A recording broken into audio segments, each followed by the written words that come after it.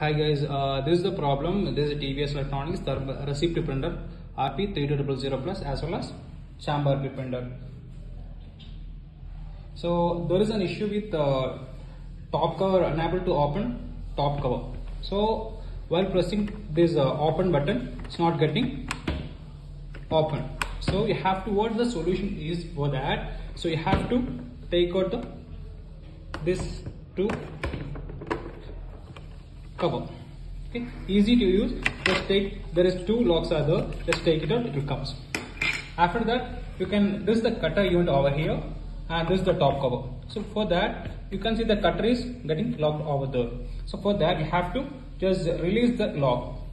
For that just remove the lock by rotating the wheel backward.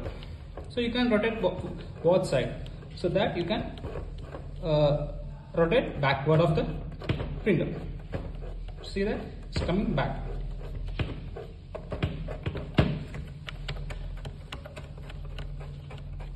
Now cutter is released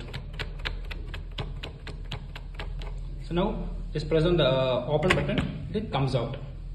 So this is very useful for uh, this printer. So now you can put the new paper roll or insert uh, all on whatever it is you can do. Thank you for watching